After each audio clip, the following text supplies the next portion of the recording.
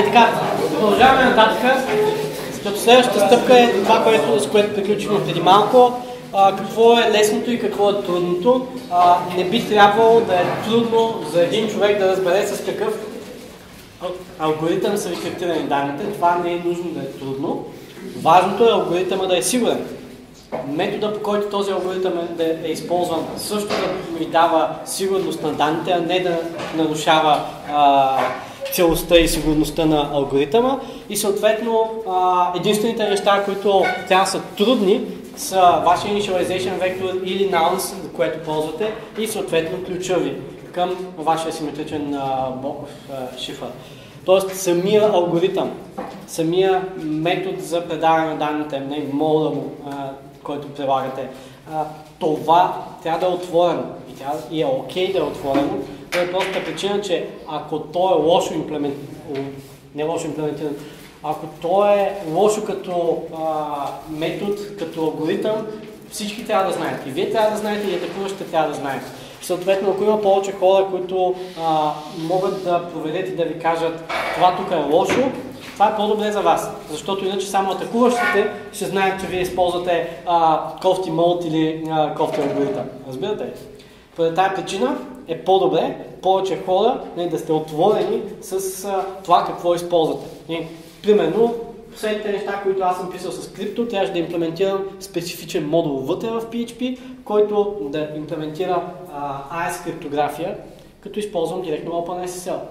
Аз мога да ви кажа, че съм ползвал AES, че съм използвал OpenSSL библиотеката. Това са неща, които са добре познати и много добре документирани. Това е валиден казус. Мога да ви дам сайфа текст, който е генериран от а, а, това нещо. И аз да съм сигурен, че въпреки, че съм ви дал сайфа текста и че съм ви дал а, алгоритъма, метода, който използвам за а, криптиране на данните, а, това не е проблем изобщо. По този начин, когато, а не ако ви ликнат криптираните данни, вие също ще бъдете сигурни, че а, тези данни са добре защитени. Разбирате? И пак казвам, когато, а не ако ви ликнат данните.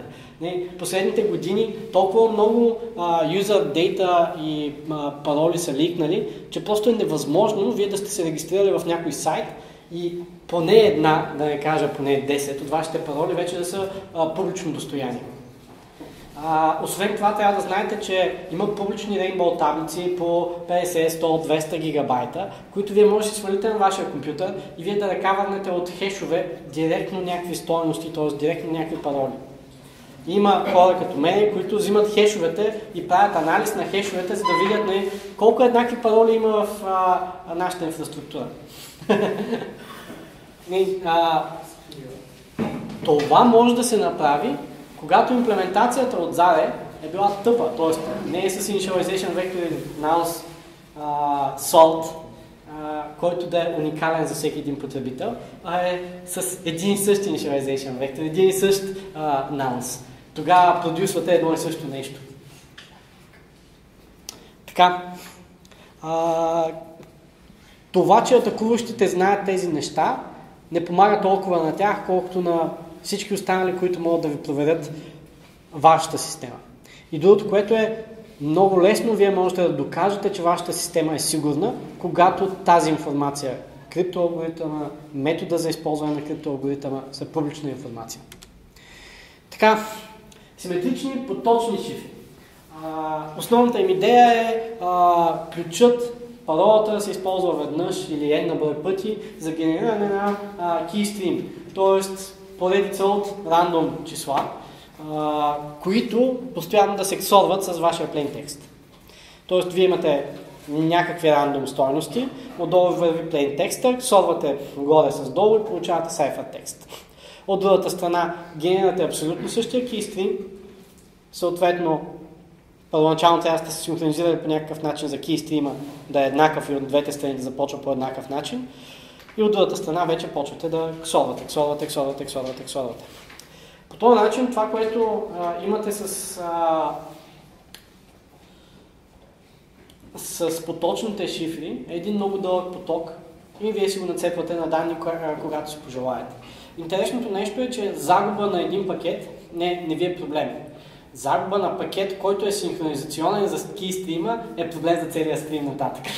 Ако се синхронизират двата кейстрима на изплащача и на получателя, реално вече имате много сериозен проблем. А, затова казах, че имате а, синхронни изцяло а, поточни шифри, които веднъж се синхронизират началото и оттам нататък а, нямат ресинхронизация. И имате само синхронизиращи се такива, които по средата на а, нашия по средата, ако загубят нещо, могат, базирано на информация, която имате по-задна или по-нова предадена, да а, направят на ново синхронизацията и просто да отрежете тия данни, след едно сте ги получили и да а, се синхронизира кейстрима и да продължите да работите. Така, най-честото нещо използват се, най-честата имплементация използва Linear Feedback Shift регистри, които изглеждат ето, добре, след два слайда имам да ви покажа за тях. Ще ви покажа как изглеждат изключително прости неща.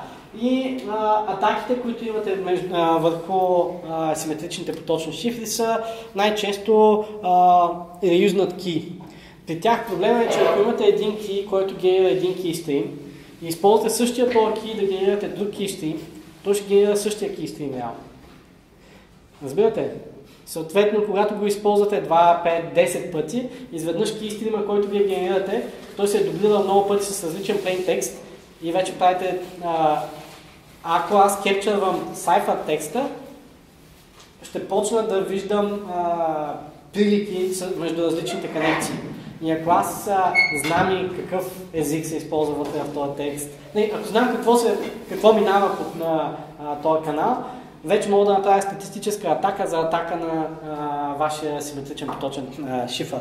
И вместо да рекавам на Kia, а, мога да рекавам на а, директно plain текста. А в някои случаи, ако достатъчно много пъти пък повтаряте а, Kia, мога да рекавам на Kia, с който генерирате кейстрима и да предюсна вече да щупя абсолютно всички абсолютно всички коннекшени, които аз съм хванал с а, вашия поточен шифър. Така, а, много честа ситуация е по пътя, ако аз съм по средата между а, двама, които си говорят с симетричен поточен а, шифър, да мога да направя нещо, което се нарича битфлипинг, просто да променям различни стоености вътре и да видя какво ако е самосинхронизиращ се, а, какво се случва за синхронизацията на този кейстрим, за да мога да рекава на кейстрима. Разбирате ли? А, съответно, ако аз дропя по едно, по две пакетчета по мрежата и просто слушам какво си говорят двете машини, мога да рекава на а, keystream и съответно plain text последствие. А, така, симетрични поточни шифри се използват в а, Voice, в Wireless, в SSL, а, в всякакви неща. А, удобни са, защото са бързи. А, и удобни са, защото имплементацията им в хардвер не изисква някакви сложни инструкции в процесора. Съответно, може да ги направите с прости а, XOR и END инструкции а, в повечето случаи. Поради тази причина и а, това са шифрите, които в момента вървят напред а, като неща от тази година и от миналата година като развитие в а, технологиите. Така, а, Теорията просто имате някакъв plain текст, имате някакъв keystream, ксовате и получавате си сайфа текста. Това нещо се получава постоянно. Самосинхронизиращите се а, ви дават възможност да направите ксор между две стойности вътре в а, стрима, които да ви дадат стойност, която е по-назад във вашия стрим. Съответно да рекавате да изгубена стойност. Разбирате? Как знаем кои а, кои точно стойности, а, зависи, това точно тук е а, пример от EC4 алгоритъма, който се използва в а, Wi-Fi, а, VPA, не, Web, извинявам се. А, съответно, EC4, тъй като е слаб, защото е много малък, а, а, малка е дължината между EJ точно, а, има атака за да рекавърнете Kia директно, докато а, хванете няколко стоености на EJ. А тук тези EJ, а, не помня точно как се избират, но са в рамките на тук мисля, че бяха от 0 до 255. Точно защото са малко. Имате бъдде атака между тях. И с бъдде атаката, комбинирано с това, че те се повтарят тези стоености, вие може да рекавате, имате probability, базиран на probability, цепите 50 на 51 бе дърво набързо и правите атака на това, което сте получили и за секунди, буквално на телефон, може да щупите а, а, веб и да му извадите ключа. Да?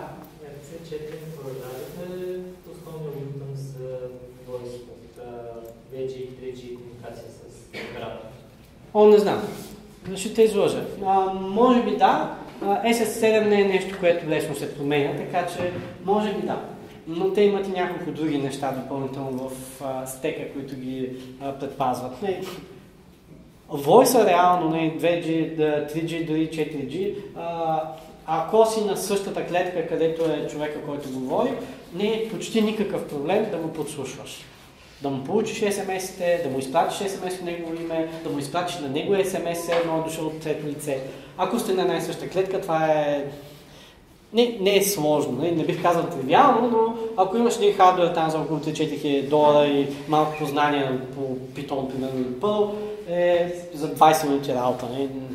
Харалд Велт няколко пъти е бил на OpenFest да ви говори за такива неща. Вижте му лекциите и ще разберете за какво стана въпрос.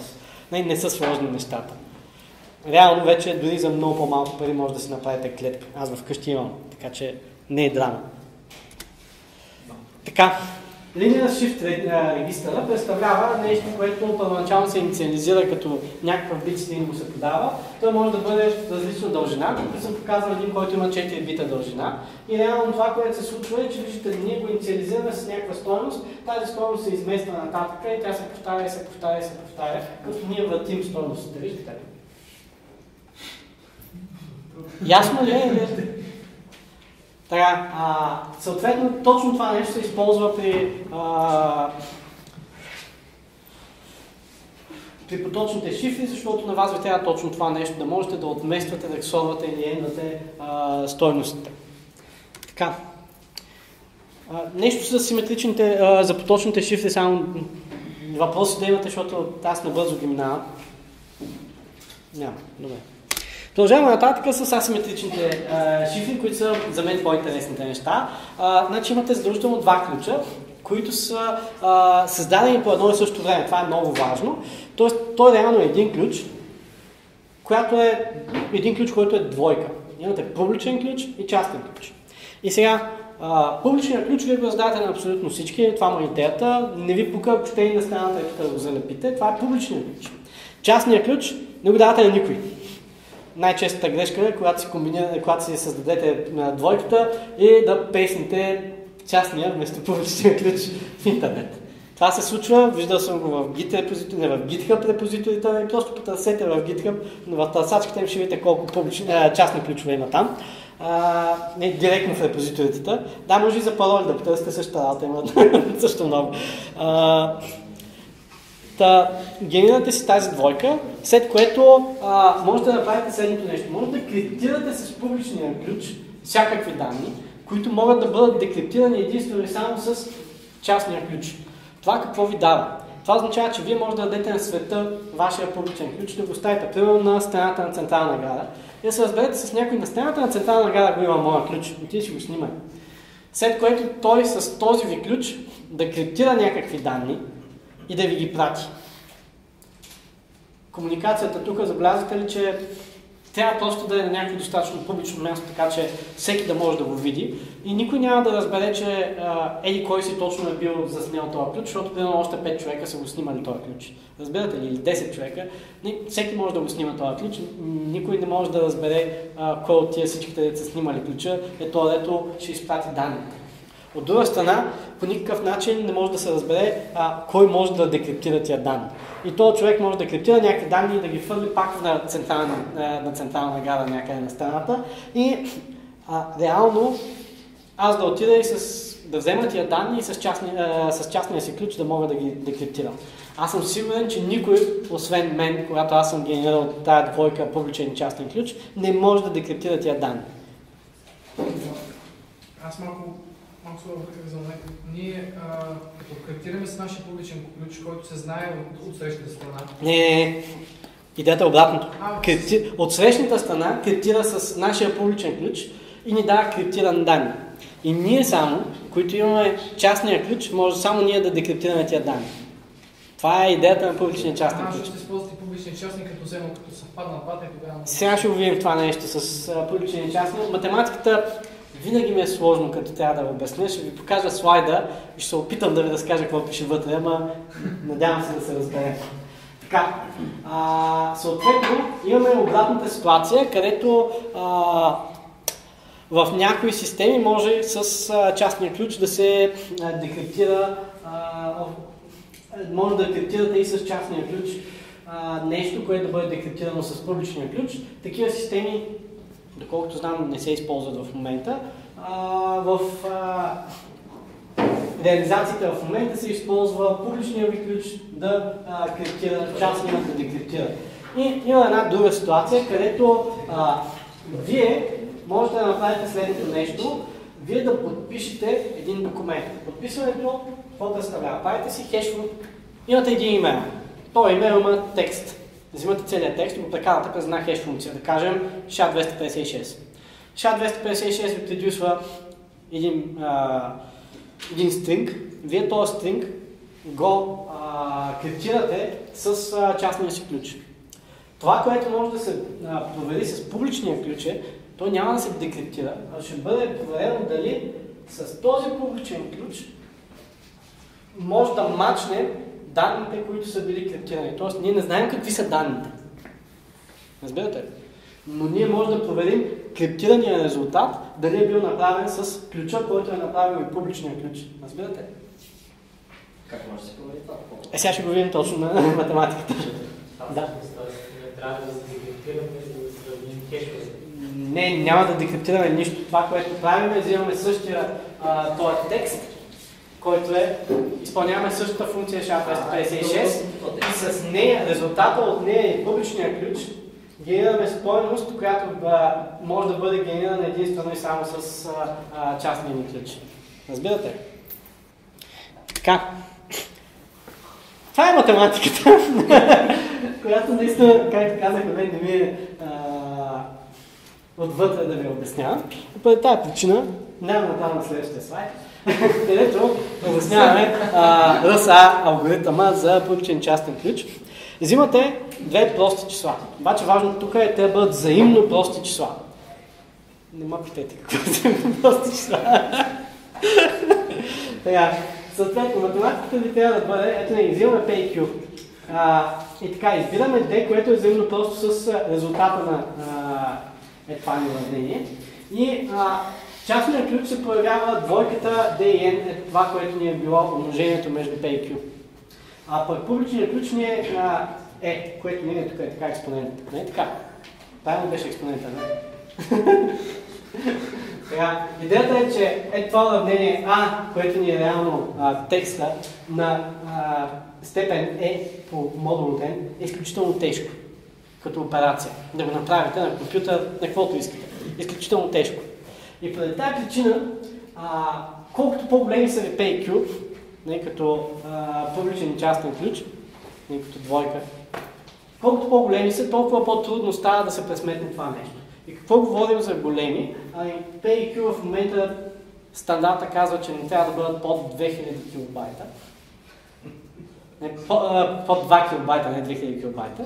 А, а пък а, аз лично не ползвам във фирмата ни под 4, като лично моя ключ е 8. 8К. Това е 8К ключ.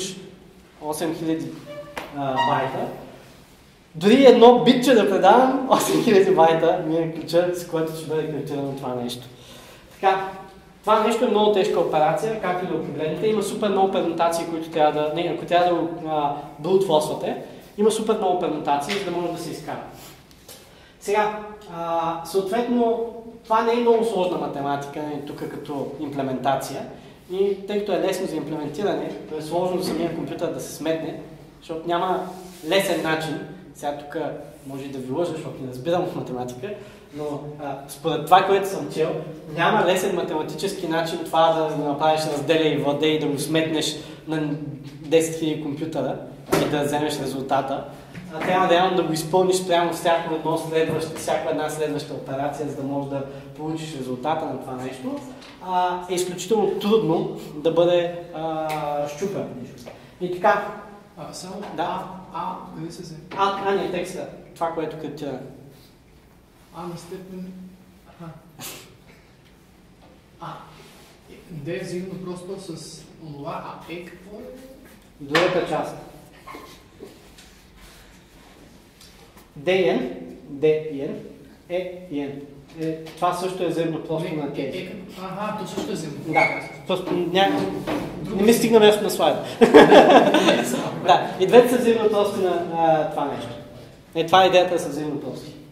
Така, а, значи взимаме две случайни числа, D и E, а, D и E, които са взаимно, а, които са взаимно прости с е, тези P и тези D и E са нашия публичен частен ключ. Така, а, освен това, освен RSA, имаме DSA, имаме Elgam, Elgamal, имаме и Elliptic Curve, които също се използват. Elliptic Curve представлява функция на една крива, която винаги дава точно една определена стойност, но за да можеш да я сметнеш от определена стойност по тази крива, трябва да направиш абсолютно същата операция. Съответно, е много тежко да го сметнеш. И това, което трябва да знаете, е, че има определени криви, които е добре ясно, че а, има някои правителства, които имат всичките им сметнати на един компютър. Не, затова не се ползват. Има определени криви, които са публично тествани и се знае, че са сигурни, няма всичките им пермутации в момента някъде. В момента Elliptic се ползва много сериозно и сега на края на лекцията ще ви кажа за какво и как и защо. Който иска повече информация за RSA алгоритъма и DSA алгоритъма, е тук е така Wikipedia. Така, взимаме две прости числа, избираме n да е а, тяхното производно, взимаме d да е взаимно просто с тези и намираме такова число е, че ето е това да е вярно. А, сега вече, на който разбира математика, сигурно му стане ясно. Аз само до тук, съжалявам. Важното нещо, което трябва да разберете от тук е, че преди да обясня Дифи Хелман, с частния ключ вие криптирате данни, а, които, а, о, с частния, с публичния ключ вие криптирате данни, които могат да бъдат декриптирани единствено и само от частния ви ключ. С публичния си ключ вие можете да подпишете данни. Тоест, вие можете да а, изпълните пак криптофункция с публичния си ключ и да оставите нещо, което може да бъде валидирано единствено само с частния ви ключ.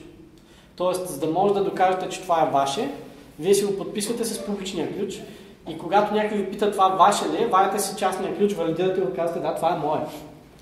Разбирате? При което, когато а, може да направите обратното нещо с частния си ключ, да генерирате някакъв сайфър текст и аз мога с публичния ви ключ да проверя дали този сайфър текст е производно на вашия частен ключ. Тук казвам производно. Не мога да го декриптирам, но мога да кажа, че той е бил използван, че той е част от тази двойка D и E. Разбирате? Защото обратното е на степен D и D на степен E са еднакви функции. Разбирате? Но не мога да получа стоеността. Вижте, че аз не мога да получа стоеността, която е, но мога да кажа, че едното е било използвано за да генерира другото. Разбирате? Но не мога да видя plain текст. Това е якото нещо на а, публичен, частен, публичен частен ключ в криптографията. Това се използва в SSH. SSH ви генерира една двойка публичен частен ключ. Публичният ключ го давате на всеки, който иска да ви даде достъп до неговия си сървър. Той го слага на неговия си сървър и вие се конектвате към този сървър. Е, сега с Diffie ще видим как точно се конектваме. Проблема е, че този алгоритъм е бавен. Съответно, ние не можем да предаваме много данни, голямо количество данни, защото ще ни натовари супер много машините. Затова тези алгоритми за публичен частен ключ криптография се използват в имейл, комуникация с OpenGPG или PGP плагини. където имейл клиента ви имплементира а, получен частен ключ криптография и вие подписвате или криптирате имейлите си. А, в другия случай, когато имате по-дълга комуникация, това публичен частен ключ, двойката се използва само за да си размените сигурно и качествено голям рандом стринг, който вие ще използвате за ки, за симетричен, а, поточен или блоков шифър. Ясно? И сега нека да разгледаме как точно ще се разменим сигурно а, два ключа. Представете си, че имаме Алис и Боб. Алис и Боб. Така, Алис иска да предаде нещо на... Тоест, искаме Боб да предаде нещо на Алис. Съответно, правим следната комуникация. Имаме това куфърче, тук е така. И Алис има нейния си ключ, който е това синьо катинарче с а, ключа. Алис слага един катинар, един ключ, е тук е така вътре в а, нашия куфър. Затваря куфъра и го заключва, обаче забележете с нейния си катинар. Нейния публичен ключ. Така, а, какво слага вътре? За какво е? Това ще е това, е, това ще ни е сешен ключа. Това е симетричният ключ, Да. Може да бъде допълнителна двойка асиметрични, допълнителен а, симетричен ключ. Няма значение. Тук идеята е, че това C е нещо, което искаме да предадем, за да може да го използваме само за тази комуникация. Тоест, в началото, както виждате, Ялис и Боб си имат синия и червения ключ, те си техните ключове. Само те си ги знаят. Тук идеята е двете страни да гарантират, че само тези две страни могат да си говорят. Така. Съответно, ние слагаме нещо в куфърчето, изпращаме куфърчето нататък на Боб, като го заключваме с нашия катинар. Боб не може да отвори това куфърче. Боб го вижда това куфърче и вика, а, много добре, аз ще го заключа с моя катинар. Съответно, Алис получава куфърчето, което вече е заключено с нейния катинар сам. Не така. Отива, отключва с червения и синия век. Да, с червения и синия. Отключва. отключва го и оставя червения и го изпраща обратно на Боб. Боб в тази ситуация вече има собствения си ключ. Не, при което Боб го отключва и вижда, е това ще е сешен, ключа. И от тук нататък Боб изпраща нашето велико секрет, е, секрет писмо, слага го в куфърчето и го заключва с а, катинара, който ние а, сме избрали, нали, нашия ключ, който е за сесията. При което, тъй като имаме същия ключ при Алис, от другата страна тя успява да го отвори. Сега, в един малко по-реалистичен свят, да обясним какви са проблемите с това нещо. А, нашия ключ C, който ние сме използвали, а, е хубаво през някое известно време да бъде реногишейтнат. Поради тази причина, обикновено тук не използваме симетричен ключ веднага, а използваме два ключа един асиметричен ключ двойка, си разменяме двамата, като той, който логичният не започва комуникацията, създава тази нова двойка, която ще бъде използвана единствено и само за тази комуникация. Една единствена комуникация. Защо Алис и Боб използват всеки път собствените си ключове за, тази, е, за всяка една комуникация? Защото колкото повече се използват ключовете, толкова по-вероятно е да има някаква атака върху тях криптоанализ, статистика и така нататък. Идеята тук е да се намали вероятността техните ключове да излязат счупени. По тази причина винаги забелязвате, излиза един катинар заключен, но никъде ключ, техните правят ключове винаги си стоят от тях. Публичният ключ винаги стои навън. Така, след това ние ползваме една нова асиметрична двойка ключове, която ще използваме за реногишейтване на сешен ключени. И още един сешен ключ използваме, който да бъде само за тази сесия. Съответно, на нас ни трябва публичен частен ключ двойката само за renegociation. Представете си, на всеки един час аз искам да сменя паролата, която се използва за сесията. На всеки един час аз използвам този ключ C, не тая двойка, за да мога да докажа, че аз съм вишъл на renegociation, не, стартирал съм renegociation протокола. Разбирате? И не, го, не използвам този ключ, който е в момента постоянно използван за сесията. Ако поради някаква причина той е а, компрометиран, няма да имам проблем с сигурността на а, тази сесия при renegotiation на сесията. И това е също добре документирано като а, best common practice за имплементация на а, криптография. Тоест, това вече е сигурен начин за предаване на а, някакви секретс между две страни. Проблема на това цялото нещо. Ако по средата имаме някой, какво се случва? Ами, ако по средата имаме някой, това, което се случва е, че когато подаваме това ковчеже нататъка, Боб по никакъв начин не знае, че това е Алис. Тоест, дали тук е син Катинара или е а, оранжев или розов, Боб не знае. И освен ако вътре в съобщението, което се предава, не може да се докаже, че това е Алис, авторизация, че това е Алис, по никакъв начин не се знае, че това е Алис. Съответно, Боб, е, да го разгледаме така, Втората световна война, съпротивата трябва да предаде някакво съобщение. Съответно, както се разбрахме, на гарата оставяме едно куфърче заключено, обаче не знаем кой го оставя това куфърче. Съпротивата отива, взима куфърчето, казали се взима едно куфърче от там. Съответно, те си го заключват с техния катинар, оставят го обратно. Някой друг го взима това куфърче, но те не знаят с кого ще говорят. Напълно възможно е а, там немците да, се намери, а, да знаят, че това е на протокола и просто те са сложили своята куфърче със своя катинар, разбирате ли? А ако в съобщението няма някакъв начин да бъде авторизирано, че това е дошло от Алис, реално съпротивата не знае, че това е било от и може да си говори в момента с гестапо, нали, да ги пребъдат. Така, а, съответно, това е за да гарантирате, че имате две страни, с които си говорите сигурно. Проблема е обаче, че наистина не знаете за тези страни. Трябва по друг начин да имате а, авторизация. Така. А, някакви въпроси за това нещо?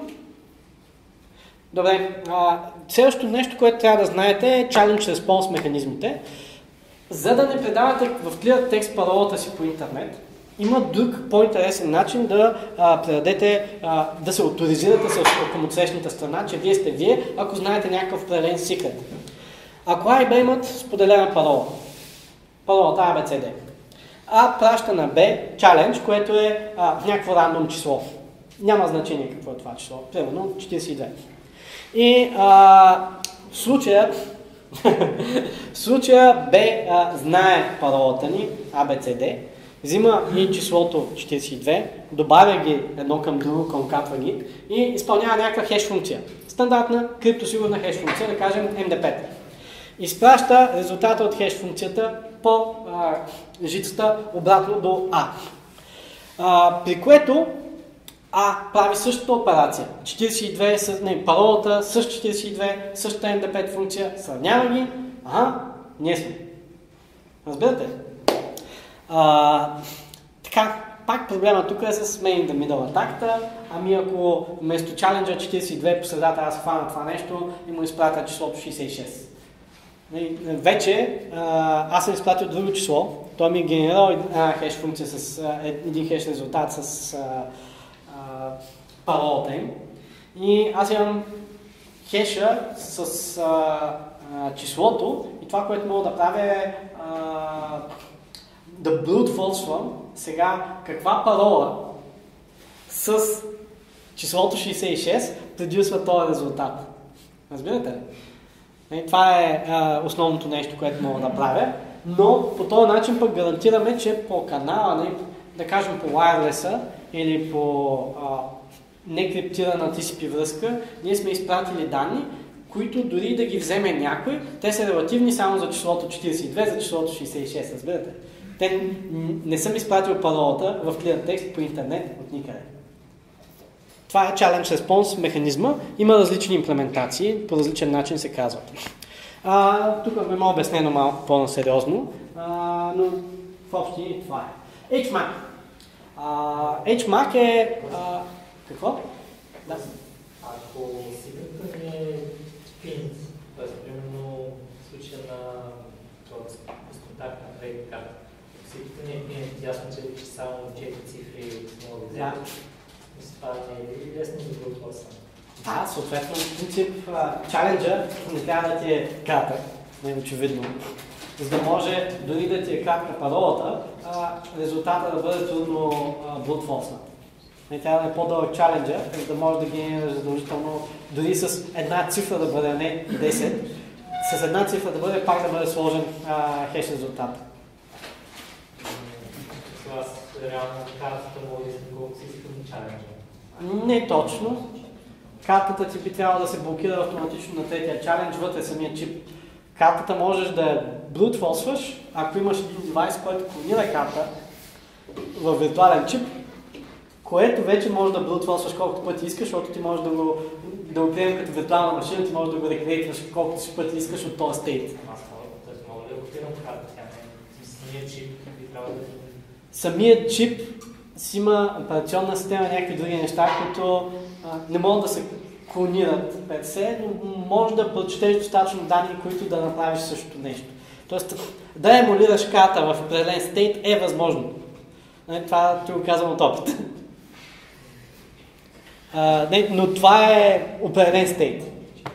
Така, а, HMAC-а. Идеята на HMAC е а, да гарантирате, а, че даден меседж не е бил променен по пътя. Тоест,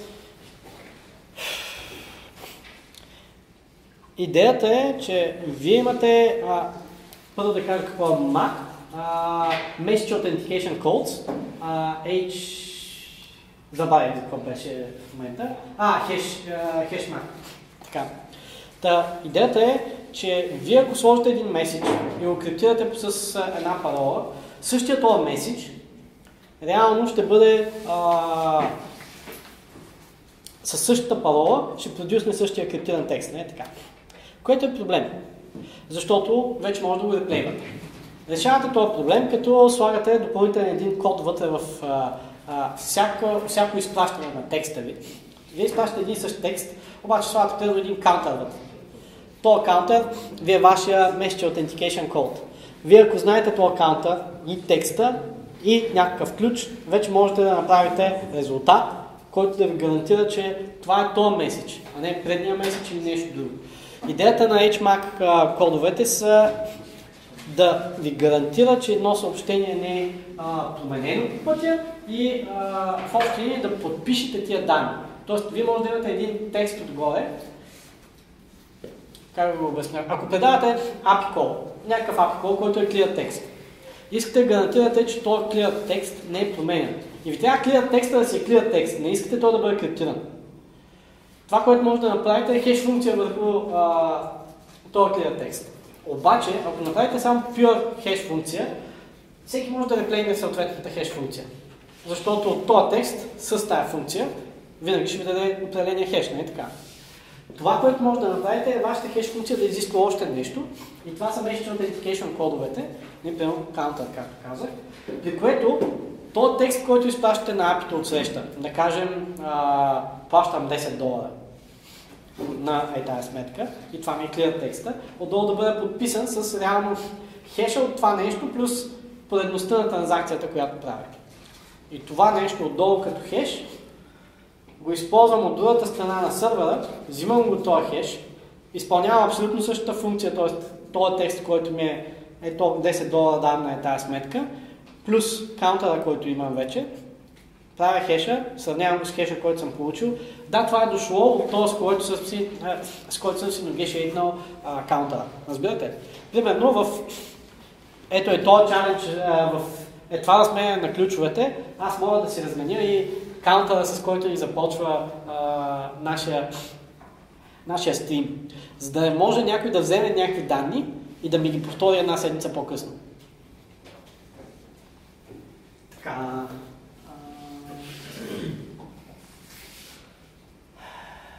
Да, за солта, ако използваме само хеш функция с парола някаква, можем да си генерираме всички възможни пароли, всички възможни резултати от тази функция, като просто си направим един флот цикъл да ги обходим. Затова слагаме към паролата някакъв солт. Като пак казвам, препоръчително е солта да бъде рандъм, да не се повтаря, да е уникален за всеки един ваш потребител, който слагате в базата. Защо? Защото ако ползвате един солт, ефективно някой ако намери този солт, може да направи рейнбол таблица и от всеки един хеш, който имате, да извади всяка една парола. Разбирате?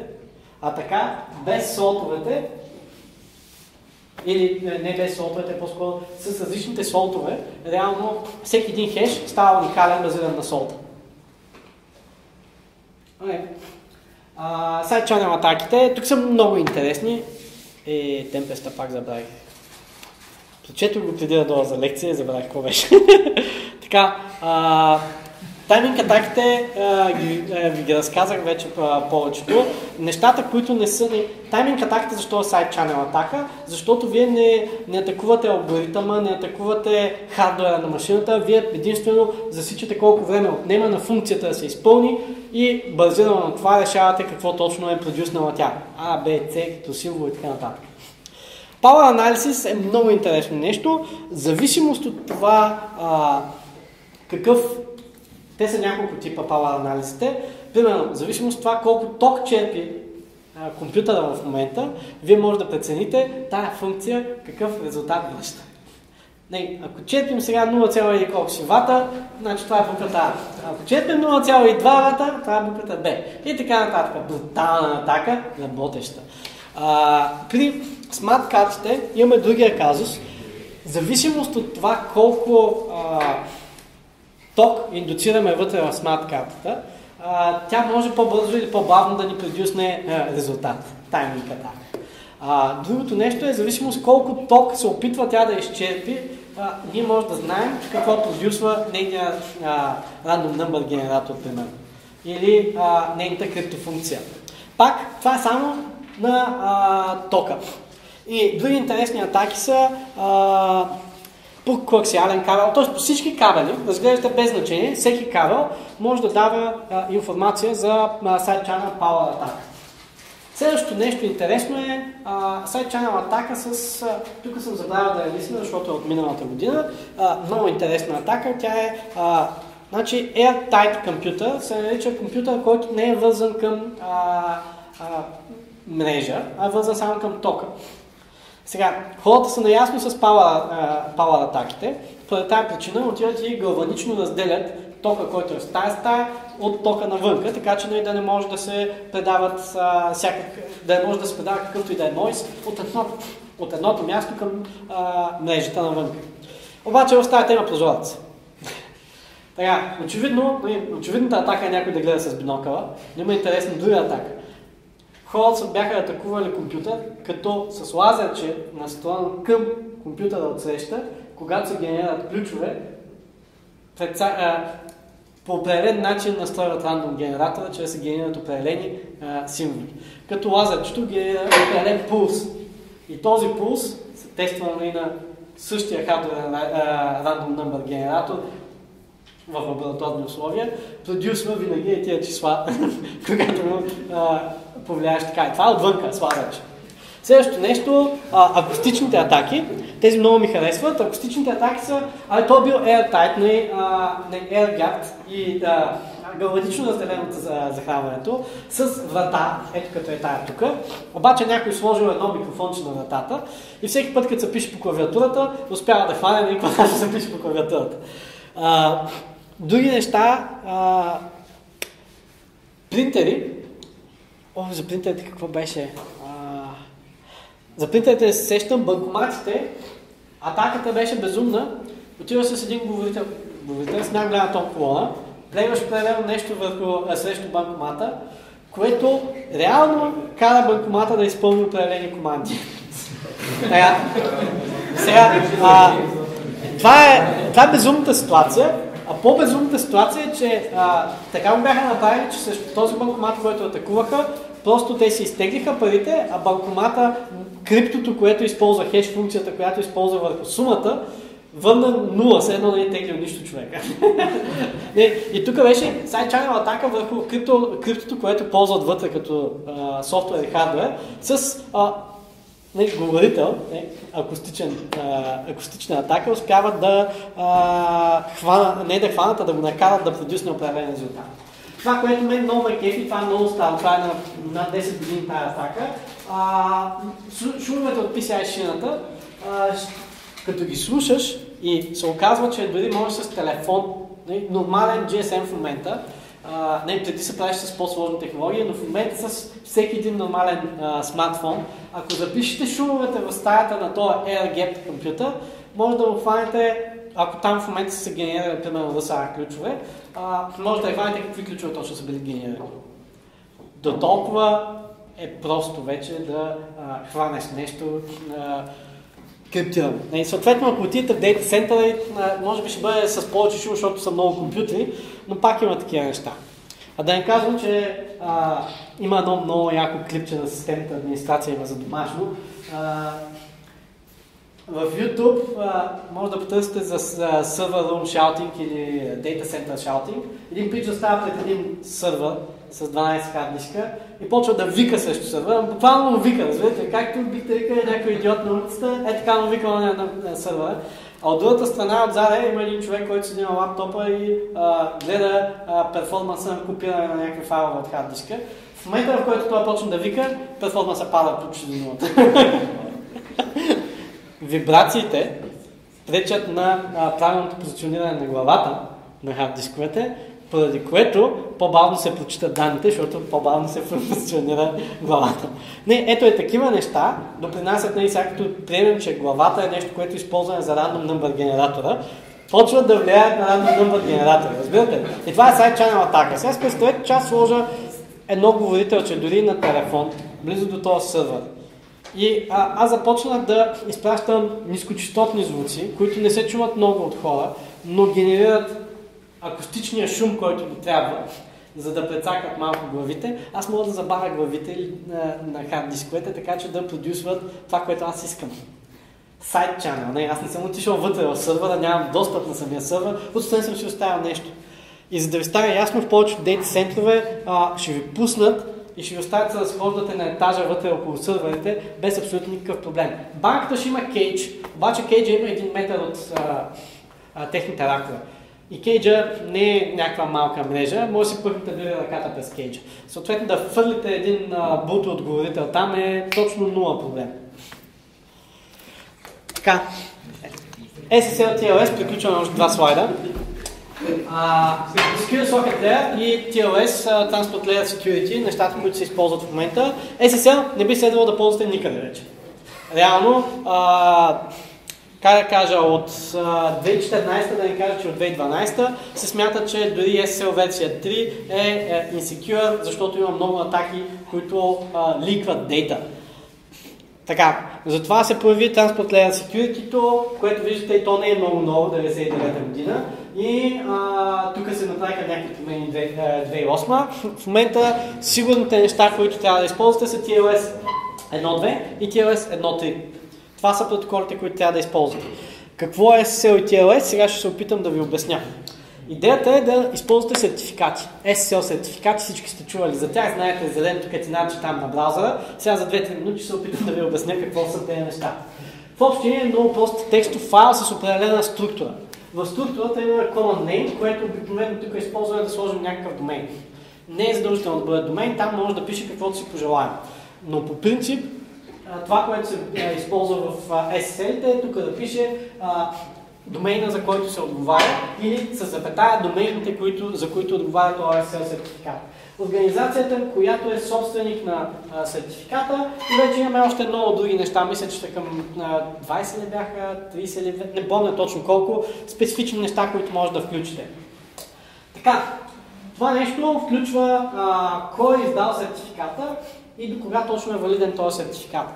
Този сертификат не е нищо повече от един много прост текстов файл, който е подписан. Е, това е важната част тук. Той е подписан. И това, което имате а, а, тия стоености, нали, кой преди кога не е валиден, след кога не е валиден, а, кой го издава, така нататък. Идеята каква е? Имате един сертификат, този сертификат, подписването е, реално разбирайте, публичен частен ключ двойка. Някой си има частния ключ тук и с публичния ключ си подписва а, и с него си подписва а, текстови файлчета. Тия текстови файлчета после могат да бъдат валидирани с неговия публичен ключ. Разбирате? Тъй като те са били, тези сертификати, тези текстови файлове са били подписани, т.е. те не са криптирани, само отдолу е добавен хеша на текста, който имаме вътре в този сертификат, плюс а, това нещо, този хеш е бил а, криптиран с публичния частния ключ на root сертификата, всички останали, които имат публичния ключ, могат да валидират, че този сертификат е бил издаден от тук. И това, което се прави, имаме някакви големи а, сертификата authority, тип а, Verizon, Google, Symantec така нататък, някакви големи фирми, които плащат милиони, не хиляди, годишна такса, за да бъдат такова сертификата authority. И трябва да мачват определени критерии на сигурност за сертификата authority. И това, което се случва е, ти трябва да си сертификата authority, след това подписваш, обаче не всеки си играе с root сертификат. Вие не можете да купите директно от Verizon сертификат, защото Verizon продават на други фирми. Фирмите си правят собствен сертификат, Verizon им го подписва. И имате вече един чейн от сертификати, където ей тук е така, ако вие, ако вие сте клиента е тук долу и получите този сертификат, който е на третия ред, Реално можете да видите в този сертификат, че имаме сертификат, който е на другата фирма, която а, ни го е издала, който пък е бил подписан от сертификата. Вие при вас може да видите, аха, аз имам публичния ключ на Verizon, мога да верифайна, че това нещо е било подписано от Verizon. Ага, значи вярвам това е на следващия сертификат, който е бил подписан от това, което е подписано от Verizon. Разбирате ли, имате един chain of trust. Затова и някои от фирмите, които ви издават сертификати, е тук е така, а, ви дават и техния интермедиат сертификат, да го дадете, да го конкатнете към сертификата за вашия сайт, да го пращате на клиента, за да може клиента да няма нужда да лукъпва интермедиат сертификата, а направо да го получи и съответно да види, а, че и двата са подписани от root сертификата. Ясно? Така, а, до преди няколко години, до преди две години, реално единственият начин да си купите сертификат беше от а, фирма която ви продава за 50, 70, 100, 200, 500 долара един SSL сертификат. От преди две години може да си вземете безплатни SSL сертификати от Let's Encrypt, което е нещо много готино. вие реално просто верифайвате, че сте собственик на този сайт, като слагате едно файлче на вашия сайт и те го отварят това файлче, това файлче те са ви го дали и просто верифайват, че могат да отворят това файлче на вашия сайт, след което те са и тук е така, не те са Intermediate сертификат Authority, те създават сертификат, който е за вашия домен. Така, а, ето ви тук, пример е VeriSign root сертификат, Global Sign Rapid SSL Intermediate и е тук е така, а, получават сертификат за Google, за Facebook, за YouTube, за eBay. Нещо неясно тук? Така работят SSL. Не, това всяко едно от тия неща е pure текстов файл, който има формат, в който не се предава.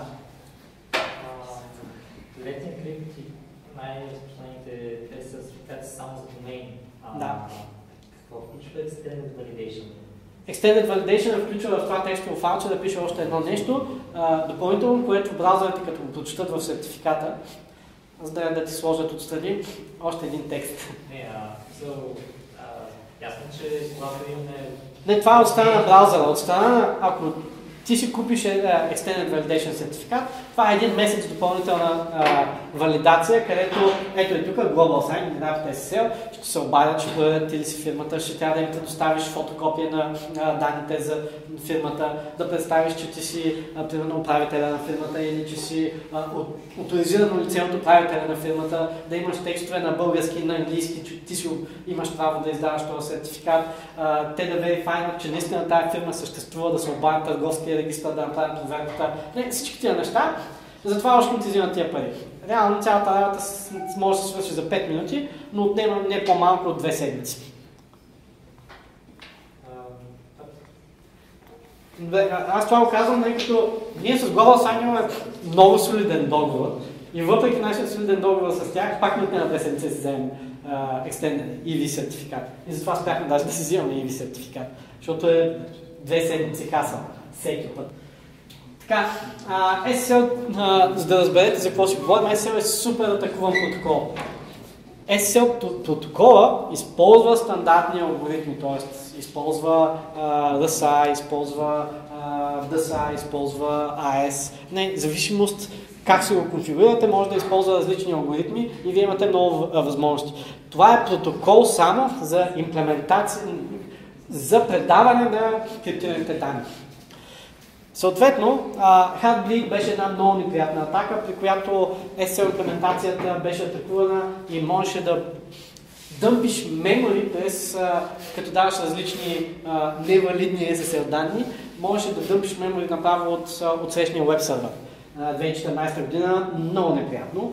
А, после същата година а, протокол downgrade, за да можете от SSL, от TLS 1.1 да отидете на SSL 3, който е щупен и съответно да използвате атаката за SSL 3 много неприятно. А, след това а, още веднъж а, протокол downgrade същата година а, по различен механизъм. А, Poodle, Freak, атаките също а, доста неприятни, като а, тук идеята беше да намалиш а, а, нивото на сигурността, да използваш само алгоритми, които, а, които са по-слаби, съответно да чупиш тях.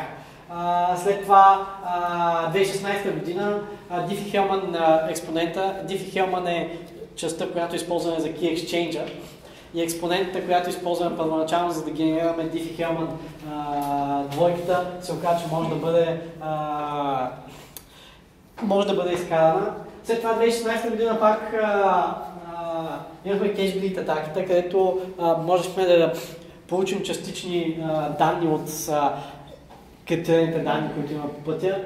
А, така. Тук. Къде беше това? А, тук има повече детайли за атаките, обаче аз искам да видя SSL на преди. Нямам слайд за това. Apple бяха безумни в SSL. Бяха... Тяхната грешка беше най-яка. Не е на мрежова сигурност две обяснявам там, където е uh, писане на сигурен код. SSL имплементацията на Apple решили да вземат OpenSSL, решили да, да си го пачват и решили да поистрият малко uh, код. Само, че така са поистривали кода, че на две места се появява uh, следния код. Go to fail. Go to fail. А, така са го изтрили, че едно ивче просто е изчезнало и останало само go to fail. И така се скипва една проверка в SSL. И реално а, всичките iOS девайси а, бяха прецакани, реално не валидираха сертификати, което е все едно нямаме не, по пътя на сертификатите никаква валидация.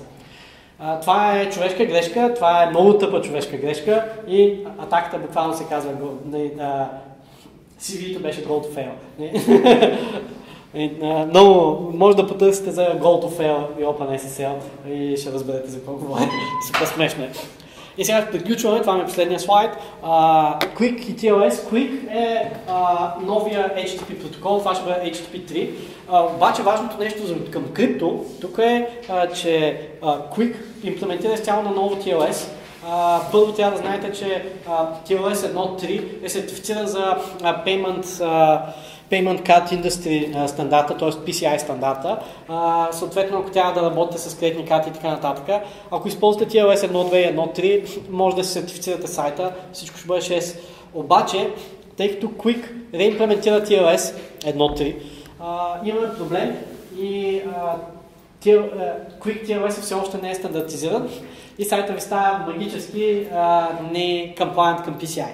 И интересното нещо е тази имплементация, защо се прави наново, защото Quick работи върху а, UDP, а не върху TCP.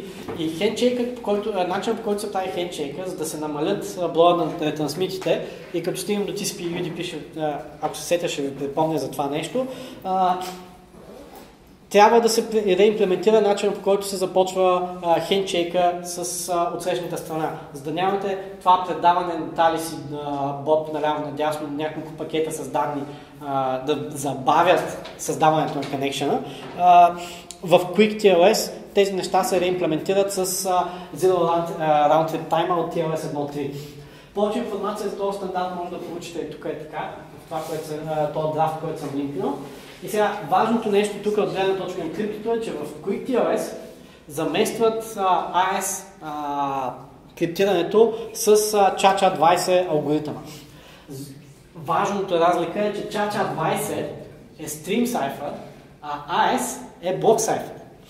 Тоест ние заместваме сега а, Block Cipher с Stream Cipher и от тук допълнително компликейтваме имплементацията на TLS-а и затова не, hence uh, Quick TLS протокол. И така, защо се случва да използваме ChaCha 20, а не uh, TLS? ChaCha алгоритмите, те са от Salsa алгоритмите, прочетете да видите за какво говоря, дериват на Salsa. Идеята е, че 20 е колко пермутации правим на данните преди а, да ги пуснем навънка. А, и Чача използва само AND, XOR и OR за имплементацията си което е много хубаво, защото може да работи на абсолютно всеки процесор без значение. А пък AES изисква малко по-сложни операции, които ако процесора ви няма тези инструкции хардуерни да ги забърза вътре в себе си, реално изисква а, да кажем 10 до 50 инструкции, които трябва да се изпълнят от процесора, за да може да се получи този резултат. При което AES става драстично по-бавен на мобилни девайси, които нямат в себе си AES. Не, на телефоните това не работи много добре. А, не, на по-нови телефони най-вероятно нямате абсолютно никакъв проблем, но на по-стари телефони или по-ефтини модели, които се продават на места, примерно като Индия а, не, или в Япония, можете, а, не Япония, Китай, а, нямате акселерация за AES и изведнъж всички сайтове, които отваряте, почват да работят по-бавно само заради криптото, което трябва да се обработва на CPU-то на тия девайси. Затова AES е бил заменен с, с Chacha 20. Така, освен това, януари или беше началото на януари, на януари, началото на февруари, ще ви излъжа за а, месеца тази година, а, Google релизнаха Adiantum. Точно това е а, заради този проблем, който има с а, криптирането с а, AS, което се използва за а, блок криптирането на SD картата ви на NAND, който имате вътре на телефона, което забавя драстично апликейшените да работят на вашите компютри. Google заменят файл систем криптирането на Android да не е с AES, както е стандартно, а с Chacha 20, като тази имплементация се е кръстили Adiantum. Можете да прочетете повече тук на този линк. Презентацията ще качат до вечера на след лекцията на сайта на NetSec. Тази апдейтната презентация, буквално вчера съм я апдейтнал, така че информацията е доста нова. И това са новостите покрай на криптографията, които ви интересуват по-публични. Zero Round изисква ли да поне втората връзка? Да, изисква това да е поне втората връзка, като идеята е, че за да получиш Zero Round Trip Time, трябва преди това вие да сте си договорили някакъв session key, който ти ще предадеш и от другата страна ще го има този session key. Трябва да се има преди, че този Zero Round Trip Time не е безкрайен, т.е. той има някакъв expire time и е напълно валидно в Quick протокола, в Quick TLS имплементацията, да има а, ситуации, където а, клиента се опитва с, а, да направи Zero Round Trip Time, но сървър му казва, експарна на тия сесията, няма такава сесия. Ние релизнахме Quick Proxy преди две седмици, го качихме на няколко сървъра експериментално.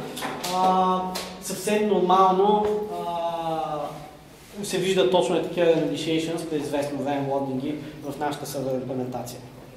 И още един въпрос. На за такива по-нисък negotiation, един вариант с share дава куки, вариант е сервера да пази списък на всичките клиенти и някакви неща. Трето, може би е сервера да подписва нещо, което клиента да пази. Zero Runtime зависи от имплементацията на TLS протокол за Handshake, като в 1.3, TLS 1.3, което работи по TCP върху HTTP и така нататък. Тоест TLS е, HTTP е върху TLS, нали, да не ви объркам. Там имаш няколко начина за това нещо, като избора, който последно си спомням, че беше а, сървъра и клиента си пазят, пазят session key и този session key експарва след някакво време. Сървъра има а, session key stall, така както има и за SSL а, кеш. Всички SSL, всички SSL имплементации на веб сервери имат а, някакъв такъв SSL кеш. Единственото, което забравих да спомена, Chacha 20, специално в QuickTLS е имплементиран с Elliptic Curve 1305, мисля беше, или 1353. ще ви объркам точно за номерчето. Важното е, че това не е... това е Chacha 20 с Elliptic, Elliptic, Elliptic Curve, а не а, с а, смятане на публичен частен ключ директно. И, и това беше.